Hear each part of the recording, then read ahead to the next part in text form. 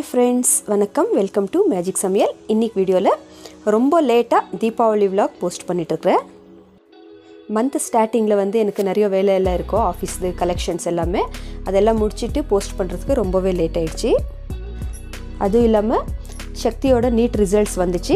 NEET அவன் எப்படி எழுதியிருக்கான்ட்டு உங்ககிட்ட ஆல்ரெடி ஷேர் பண்ணியாச்சு. ரிசல்ட்ஸ் வந்தப்போ அதோட இம்பேக்ட்டு ஆல்ரெடி எப்படி இருக்கோன்ட்டு நீட் எழுதியிருக்கிற பசங்களோட வீட்டில் எல்லாருக்குமே தெரிஞ்சிருக்கும். அதனால தான் கொஞ்சம் வீட்டில் அப்படி இப்படி இருந்துச்சு. இந்த வீடியோ போடுறதுக்கும் லேட் ஆச்சு. தீபாவளின்றது ஒரு பெரிய பண்டிகை. அதுவும் இல்லாமல் இந்த நோன்புக்கு வந்துட்டு நிறைய வேலை இருக்கும் இல்லையா வீட்டில் டூ டேஸ்க்கு முன்னாடி இருந்தால் நான் பண்டிகைக்கான ப்ரிப்ரேஷன்ஸ் எல்லாம் செஞ்சுட்டேன். தீபாவளினால அதிர்சம் சுடுறது தான் ஒரு பெரிய டாஸ்க்கு நம்ம பாகு எடுக்கும்போது கொஞ்சம் அப்படி இப்படி ஆனால் கூட அது அதிர்சம் வந்துட்டு பர்ஃபெக்டாக வராது. எனக்கு வந்து நல்லா பர்ஃபெக்டாக வந்துடுச்சு. எல்லா வருஷமும் அதிர்சம் சுடணுன்னா தனு தட்டி கொடுப்பா. நான் சுடுவேன் சக்தி வந்துட்டு எக்ஸ்ட்ரா ஆயில் எல்லாம் இது மாதிரி ப்ரெஸ் பண்ணி எடுத்துடுவான். அதிர்சம் வந்துட்டு ரெட் ரைஸில் பண்ணுவேன். அதனால தான் இது மாதிரி கலர் நல்லா ப்ரௌனிஷாக வந்திருக்குது. ரொம்பவே டேஸ்டியாக இருக்கும் இந்த அரிசியில் செஞ்சால் சில பேர் வீட்டில் வந்துட்டு நோம்பு இருக்காது. அவங்க அதிர்சம் எல்லாம் செஞ்சுருக்க மாட்டாங்க இல்லையா? அவங்களுக்கு எல்லாம் தரத்துக்காக இன்னும் ரெண்டு கிலோ எக்ஸ்ட்ரா அரிசி போட்டு ஆல்ரெடி செஞ்சு வச்சுட்டு இருந்தேன். இது பண்டிகைக்காக நான் பண்டிகைக்கு முன்னே நான் நைட் செஞ்சது. அதிர்சம் எல்லாம் ரெடி ஆச்சு. நெக்ஸ்ட் டே காலையில் ஃபோர் ஓ கிளாக்கே எழுந்திரிச்சிட்டு நான் பூஜை ரூமில் வந்துட்டு கல்ஷம் வைக்கிறதுக்காக எல்லாம் ரெடி பண்ணிகிட்ருக்குறேன் பூஜை சாமான் எல்லாம் வந்துட்டு நேற்றுக்கு எல்லாம் கழுவியாச்சு. இப்போ வந்துட்டு ஒரு மனை வச்சு அது மேலே மஞ்சள் குங்குமத்தில் கோலை போட்டு அதுக்கு மேலே நம்ம ஒரு தட்டில் அரிசி வச்சு அது மேலே தான் கல்ஷம் வைக்க போகிறோம் நம்ம வீட்டில் எப்படின்னா நோம்புக்கு கூட நம்ம அம்மனை கல்ஷத்தில் உட்கார வச்சு தான் பூஜை செய்வோம்.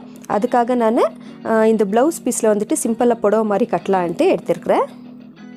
ரெகுலராக சாரீ கட்டுவோம் இல்லையா அதுக்கு ஃப்ளிட்ஸ் எல்லாம் நம்ம எப்படி அரேஞ்ச் பண்ணுறோமோ சேம் அதே மாதிரி கொஞ்சம் சின்ன சின்ன சைஸில் நம்ம ஃப்ளிட்ஸ் வச்சுட்டு ரெண்டு சைட்லேயும் நம்ம எட்ஜஸில் பின் போட்டு வச்சிடணும். அப்போ தான் நம்மளுக்கு அந்த கல்ஷத்துக்கு வச்சு கட்டும்போது நம்மளுக்கு ஈஸியாக இருக்கும். ஃப்ளிட்ஸ் அதே மாதிரி நல்லா ஈக்குவலாக உட்காரும். அதனால தான்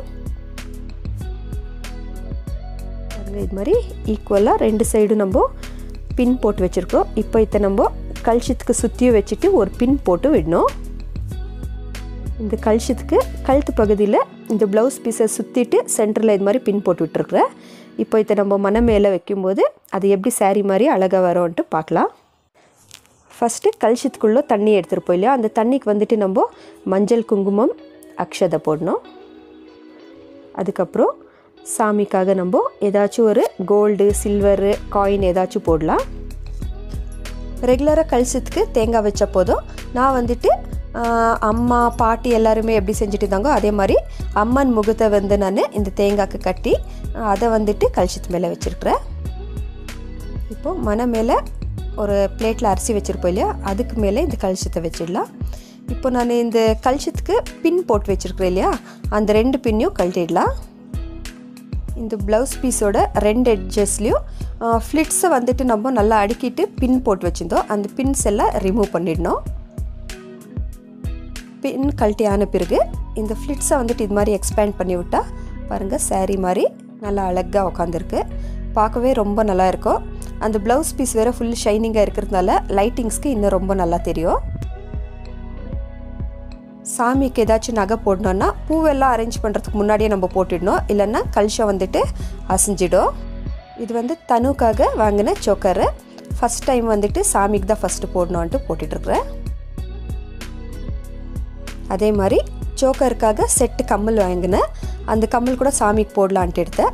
அதை அப்படியே வச்சா நிற்க மாட்டேனுது அதுக்காக ரெண்டு கம்மலுக்கும் சேர்த்து நான் நூல் கட்டிட்டு அது வந்துட்டு காதுக்கு மேலே சும்மா அப்படி வச்சுருக்குறேன் அவ்வளோதான் அதுக்கப்புறம் அம்மனுக்கு மஞ்சள் குங்குமம் வச்சிடலாம். அதுக்கப்புறம் சாமிக்கு பூவெல்லாம் வச்சு நல்லா அலங்காரம் பண்ணியாச்சு. பண்டிகை நன்னு சாமிக்கு அலங்காரம் பண்ணுறதுன்னா எனக்கு ரொம்ப பிடிக்கும். ரெகுலராக பூஜையை நான் நல்லா செய்வேன். அது பண்டிகை நன்னு இன்னும் கொஞ்சம் ஸ்பெஷலாக செய்யணுன்ட்டு நினைப்பேன். அதுக்காக அரேஞ்ச்மெண்ட்ஸ் எல்லாம் நான் டூ த்ரீ டேஸ்லேருந்தே ஸ்டார்ட் பண்ணிவிடுவேன் சாமிக்காக மங்களகரமான எல்லா வஸ்துவும் நம்ம சாமிக்கிட்ட வச்சிடணும். நோம்பு கயிறு மஞ்சள் குங்குமம் அதுக்கப்புறம் வெத்தலை பாக்கு மஞ்சள் கொம்பு அதெல்லாமே வந்துட்டு வீட்டுக்கு மஞ்சள் குங்குமத்துக்காக அழிக்கிறோம் இல்லை அவங்களுக்கெல்லாம் கூட வச்சு கொடுக்கணுன்ட்டு ஃப்ரூட்ஸோடு சேர்த்து வச்சு கொடுக்குறோம். பண்டிகை நன்னு பூஜைக்கான அரேஞ்ச்மெண்ட்ஸ் எல்லாம் முன்ன நன்னே செஞ்சிட்டோம்னா காலையில் பூஜை வந்துட்டு சீக்கிரமாக முடிச்சிடலாம் நான் வந்து ஃபோர் ஓ கிளாக் எழுந்திரிச்சிட்டு குளிச்சுட்டு சமையல் வேலையெல்லாம் ஸ்டார்ட் பண்ணிட்டேன். அதுக்கப்புறம் ஒவ்வொருத்தராக எழுந்துச்சி வந்து குளிச்சுட்டு வந்தாங்க. டென் தேர்ட்டிக்கெல்லாம் பூஜை எல்லாம் முடிச்சிட்டோம் மெயினாக இந்த பண்டிகை வந்துட்டு ரொம்ப வேலை இருக்கும். அதனால தான் நம்ம ஃபஸ்ட்டே எல்லாம் அரேஞ்ச் பண்ணிக்கினா நம்மளுக்கு கொஞ்சம் ஈஸியாக இருக்கும். ஃபஸ்ட்டு சாமியை நம்ம உட்கார வச்ச பிறகு ஃபஸ்ட்டு பூஜை ஒன்று செய்வோம். அதுக்கப்புறம் சாமிக்காக கதை எல்லாம் படிக்குவோம் இல்லையா? அந்த கதை எல்லாம் படிச்சுட்டு அதுக்கப்புறம் மகாமங்களாரத்தி செய்வோம். பண்டிகை டைமில் ஆகட்டும் ரெகுலராக பூஜை செய்யும்போது காலையில் ஈவினிங் ரெண்டு வேலையும் துளசிக்கு வந்துட்டு பூஜை செய்கிறது ரொம்பவே முக்கியம். வீட்டுக்கு ரொம்ப நல்லது.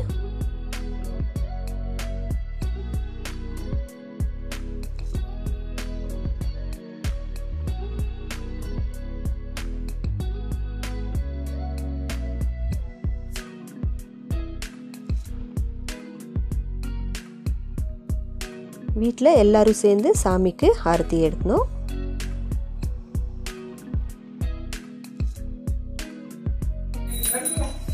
ஈவினிங்கு விளக்கேற்றுறதுக்காக தனுதா இதெல்லாம் அரேஞ்ச்மெண்ட்ஸ் எல்லாம் பண்ணியிருக்கிறா ரொம்பவே அழகாக இருக்குது. ஒவ்வொரு வருஷம் ஒரு ஒரு மாதிரி அரேஞ்ச் பண்ணுவா.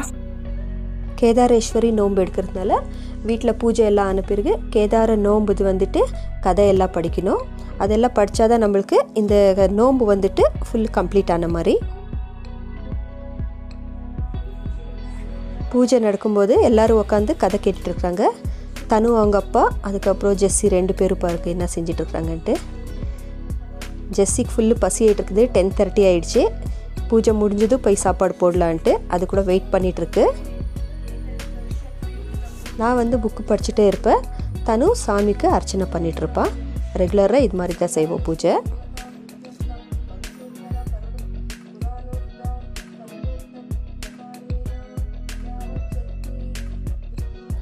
தீபாவளி நன்னு வீட்டில் இருக்கிற எல்லாருமே எண்ணெய் தேய்ச்சி குளிக்கிறது ரொம்பவே நல்லது. இது பாரம்பரியமாக எல்லார் வீட்லேயும் வந்திருக்கிற ஒரு வழக்கம். ஆனால் இப்போ வந்து கிளைமேட் சுச்சுவேஷன் பார்த்திங்கன்னா ரொம்பவே கோல்டாக இருக்குது அதனால எண்ணெய் தேய்ச்சி குளித்தா இன்னும் கோல்ட் ஆகிடும்ன்ட்டு யாரும் எண்ணெய் எல்லாம் தேய்க்கல. நார்மலாக தலைக்கு குளிச்சுட்டு எல்லாம் வந்தாச்சு. ஜெஸ்ஸி கூட பண்டிகைக்காக நேற்றே நல்லா ஃப்ரெஷ்ஷாக குளிச்சுட்டு ரெடி ஆகிடுச்சு அதனால தான் இன்றைக்கி மயக்கமாக அப்படியே தூங்கிட்டே இருக்குது பண்டிகை டைமில் பூஜை நடக்கிறதுக்கு எல்லாம் ஒரு ஒன் ஹவர் ஆகும். அந்த டைமில் சக்தி இது மாதிரி தான் ஏதாச்சும் ஒரு வால் வேலை செஞ்சுட்டே இருப்பான். மெயின் வந்து அவனுக்கு பசி ரொம்ப ஆகிட்டு இருக்குது பசியானதான் இது மாதிரி ரொம்ப வால் வேலைங்கெல்லாம் செய்வான் அதனால தான் சீக்கிரம் சீக்கிரம் பூஜை முடிச்சுட்டு சாப்பாடு போட்டால் போதும்ன்ட்டு காத்துட்ருப்பான் கதையெல்லாம் படித்து முடித்த பிறகு நம்ம லாஸ்ட்டில் சாமிக்கு மகாமங்களாரத்தி செய்யணும்.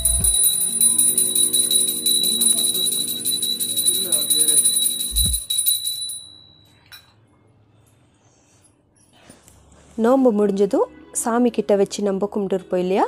நோன்பு கயிறு அது வீட்டில் எல்லாருமே கையில் கட்டிக்கணும். நம்ம வீட்டில் வந்துட்டு லேடிஸ்க்கு வந்துட்டு கழுத்தில் போடுற மாதிரி இருக்கும் ஜென்ட்ஸ்க்கு கையில் கட்டுற மாதிரி இருக்கும். வீட்டில் யார் பெரியவங்க இருப்பாங்க அவங்கக்கிட்ட ஆசீர்வாதம் வாங்கிட்டு நம்ம நோன்பு கயிறு கட்டினா ரொம்ப நல்லது.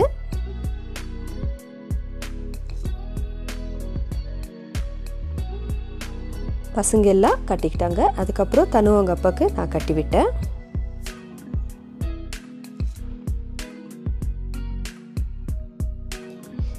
இது வந்து பண்டிகைனே ஒரு பார்சல் வந்துச்சு.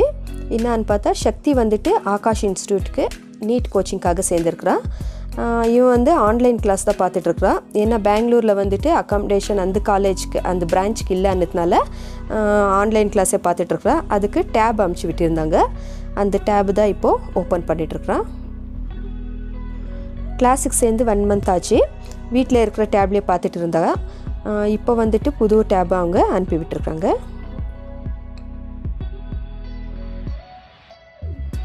அவ்வளோதான் எல்லோரும் ரொம்ப பசியோடு ஈகர்லி வெயிட் பண்ணிகிட்டு இருக்காங்க பாருங்கள் தனு அவங்க அப்பாவுக்கு வந்துட்டு ஃபுல்லாக சுஸ்தாய் படுத்துட்டு இருக்கிறாரு. ஏன்னா காலையில் பிரேக்ஃபாஸ்ட்டே இருக்கல. அதனால தான் பண்டிகை நோன்பு அது எல்லாமே வந்துட்டு நம்ம ஒரு பொழுது இருந்து பூஜை செஞ்சால் ரொம்ப நல்லது. அதனால தான் நான் பிரேக்ஃபாஸ்ட் எதுவுமே செய்ய மாட்டேன். பூஜையை வந்துட்டு கொஞ்சம் சீக்கிரமாக செய்கிற மாதிரி நான் பிளான் பண்ணிக்குவேன். அமேசான் ப்ரைமில் ஏதோ ஃபிலிமு புதுசாக விட்டுருக்குறாங்கன்ட்டு அதுதான் இப்போ பார்த்துட்ருக்குறாங்க எல்லோரும் சேர்ந்து. பண்டிகை நன்னு எல்லோரும் சேர்ந்து பண்டிகை செய்கிறது பூஜை செய்கிறது அதுக்கப்புறம் வீட்டில் செஞ்ச சாப்பாடு எல்லாம் எல்லோரும் ஒன்றா உட்காந்து சாப்பிட்றது. அது எல்லாமே ஒரு தனி ஃபீலு ரொம்பவே சந்தோஷம் கொடுக்கும் இல்லை?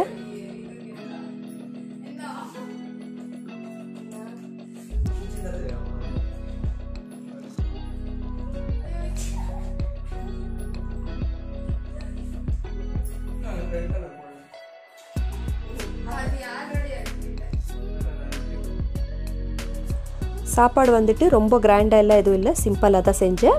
ரெண்டு வகையான பொரியல் அப்பளம் பஜ்ஜி செஞ்சுருந்தேன் மிளகா பஜ்ஜி.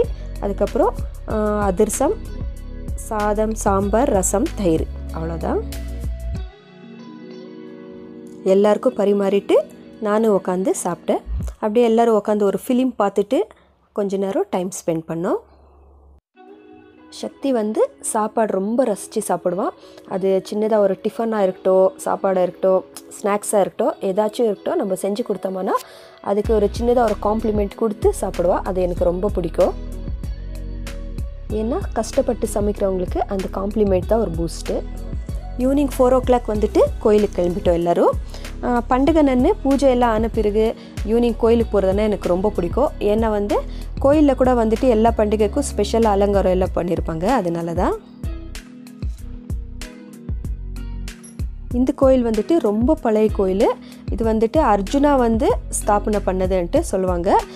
உள்ள வீடியோ எல்லாம் எடுக்கக்கூடாதுன்றதுனால காட்டில். விநாயகர் வந்துட்டு ரொம்ப பெரிய சைஸ் இருக்கும் இங்கே. கோயில்லேருந்து வீட்டுக்கு வந்த பிறகு வீட்டுக்கிட்டே இருக்கிற எல்லா லேடிஸையும் கூப்பிட்டு மஞ்சள் குங்குமம் எல்லாம் கொடுத்தாச்சு. தீபாவளினாலே வெளிக்கேற்றுற ஒரு பண்டிகை தான். தனு தான் இது ஃபுல்லாக வந்துட்டு அரேஞ்ச்மெண்ட்ஸ் எல்லாம் பண்ணி வச்சுருக்குறான். ஒவ்வொரு வருஷமும் ஒரு ஒரு மாதிரி அரேஞ்ச் பண்ணுவான். இந்த வருஷம் வந்துட்டு வெறும் பூலியே செஞ்சுருக்குறா. ரொம்ப நல்லா இருந்தது. ஆக்சுவலாக இது வந்து ஓணம்காக செய்வாங்க. நான் வந்துட்டு ரெகுலராக தீபாவளி நன்னு இது மாதிரி வெளிக்கேற்றுவோம் தீபாவளிக்காக ஸ்பெஷலாக ட்ரெஸ் எல்லாம் எதுவுமே வாங்கல தனுக்கு. புதுசாக ஒரு சேரீ இருந்தது. அதில் தான் இந்த சுடிதார் தைக்க வச்சுருக்குறேன். அதுக்கு மேட்சிங்காக ஒரு துப்பட்டை வாங்கினேன். வீட்டுக்கிட்ட இருக்கிற குட்டி குட்டி நாய்ங்க இருக்குது இல்லையா? அதில் ஒன்றுத்துக்கு வந்துட்டு ஹெல்த் ரொம்பவே சீரியஸாக இருந்தது. பண்டிகை நாள் நம்ம எல்லாம் ஹாப்பியாக இருக்கிறோம். ஆனால் இது வந்துட்டு ரொம்பவே ஹெல்த் ப்ராப்ளமில் இருந்தது. அதுக்காக தான் சக்தி ட்ரீட்மெண்ட் கொடுத்துட்ருக்குறோம் அதுக்கு வந்து ஃபுட் பாய்சன் ஆகிட்டு இருந்தது. ஃபுல்லாக வாமிட்ஸு மோஷன்ஸ் எல்லாம் ஆகிட்டு இருந்தது. அதனால குளுக்கோஸு ஓஆர்எஸ் மிக்ஸ் பண்ணிவிட்டு அதை தான் குடிக்க வச்சுட்ருக்குறா சக்தி. நாலஞ்சு வருஷமாக சக்தி தனு பட்டாசு அடிக்கிறதே இல்லை. இந்த வருஷம் வந்துட்டு தனு அதிசயமாக எனக்கு பட்டாசு வாங்கி தந்தான்னு கேட்டா. அதனால தான் பண்டிகைக்கு முன்னனே பட்டாசு வாங்கி தந்தார். ஆனால் இங்கே ரெண்டு மூணு நாளாக ஃபுல்லாக மழை இருந்தது. ஆஹ் இன்னைக்கு வந்துட்டு சண்டே சண்டே நன்னு தான் இந்த பட்டாசு எல்லாம் அடிச்சிட்டு இருக்காங்க.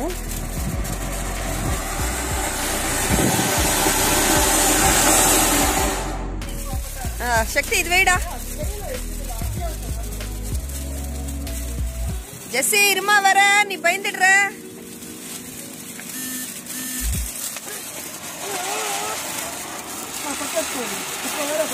நாலஞ்சு வருஷம் முன்னாடி பார்த்தீங்கன்னா தனு அவங்க அப்பா நிறைய பட்டாசு வாங்கிட்டு வருவார் சடன்லி சக்தி தனுக்கு என்ன ஆச்சுன்னு தெரில நாங்கள் பட்டாசு எல்லாம் வெடிக்க மாட்டோம் ஏர் பொல்யூஷன் ஆகும் அது இதுன்ட்டு எல்லாம் லாஜிக் எல்லாம் பேசிட்டு பட்டாசு வெடிக்கிறத நிப்பாட்டிட்டாங்க. ஆனால் இந்த வருஷம் என்ன ஆச்சுன்னு தெரில தனு. அடோ பிடிச்சி பட்டாசு வாங்கிட்டு வர சொன்னா ஆனால் பார்த்தா டூ த்ரீ டேஸாக ஃபுல்லாக மழை. அதுக்கு தான் இன்னைக்கு வெடிச்சிட்டு இருக்காங்க. வீட்டுக்கு முன்னாடி பட்டாசு வெடிக்கலான்னா எல்லார் வீட்டுக்கு முன்னாடி ஒரு கார் இருக்குது காருக்கு ஏதாச்சும் ப்ராப்ளம் ஆகும்ன்ட்டு மொட்டை மாடியில் வந்து பட்டாசு வெடிக்கிறாங்க. நம்ம தமிழ்நாட்டில். கிளைமேட் எப்படி இருக்குதுன்னு. தெரியல. ஆனால் இந்த பெங்களூர் சைடு பார்த்தீங்கன்னா டுவெண்ட்டி டிகிரி சென்டிகிரேட் இருக்குது. குளிருக்கு தாங்கவே முடியாது. நாங்கள் எல்லாம் டெய்லி வந்துட்டு காஷ்மீரில் இருக்கிறவங்க எல்லாம் எப்படி இருப்பாங்கன்ட்டு தான் யோசிச்சுட்டு இருப்போம். ஏன்னா அவ்வளோ குளிர் இருக்குது இங்கே.